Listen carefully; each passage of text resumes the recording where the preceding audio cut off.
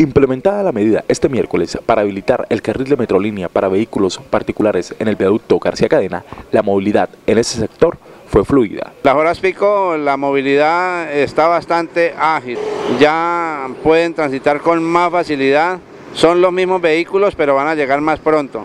Son las 8 de la mañana y no hay ningún taco de tráfico, no hay problemas, no hay congestiones, o sea que eh, la medida está muy buena y muy aceptable por la ciudadanía. Algunos transeúntes expresaron que para ver resultados sobre si funciona o no la medida tocaba esperar hasta la próxima semana, donde habrá mayor movilidad en la zona luego de que los bumangueses regresen de la temporada de vacaciones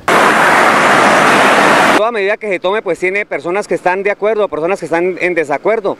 Eh, en un principio, por lo menos hoy se ve que está bastante sola esta avenida, pero hay que tener en cuenta que estamos en vacaciones y las personas que están en vacaciones pues el tráfico vehicular se reduce bastante. Hay que esperar la semana que entra, cuando ya están eh, todo el parque automotor en, servicio y están trabajando a ver cómo se presenta el, el flujo vehicular. Está mucha gente en descanso y sabemos que a medida que se va presentando más la congestión se va a ver más el problema. Eso yo no creo que sea ninguna solución.